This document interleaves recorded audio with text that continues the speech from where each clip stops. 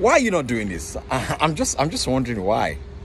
There's several ways to get a new customer, but one of them is paid media. Second one is sweat media. The third one is manual media.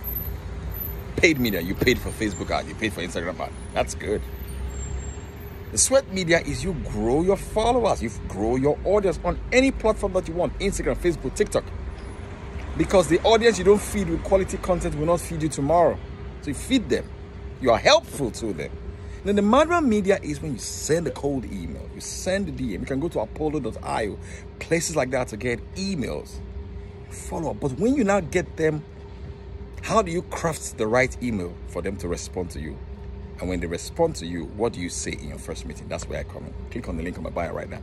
Join my paid WhatsApp where I teach stuff like this every single day. $6 a month, or 5,000 a month. My name is Paul Foh. Boom!